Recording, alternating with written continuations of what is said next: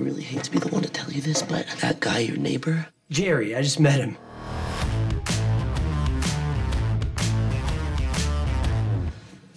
yeah, he's a vampire, man.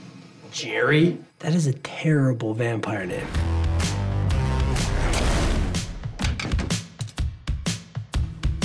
Gonna kill a vampire.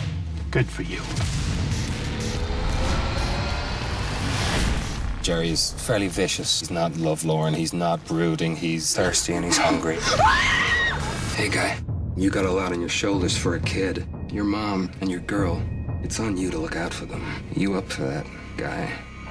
Charlie Brewster seeks out Peter to help him in the fight against his next door neighbor. Mr. Vincent, say I wanted to kill a vampire. Well, you got fire, beheading, or go traditional, stake through the heart. Garlic, crosses. You can make him a big garlicky omelette. Is that a stake you were twiddling? No. Maybe. And in preparation of it, you find yourself kind of getting into the realm of vampire logic. Charlie, he's gonna find me. I'm counting on it.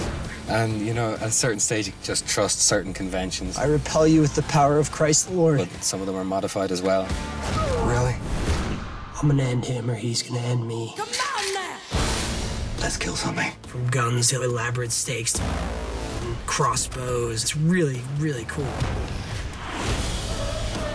This movie really steps up the weapons you can use to battle a vampire.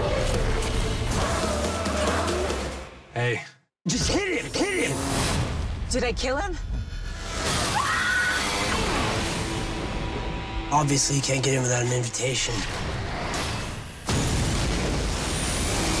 Don't need an invitation if there's no house.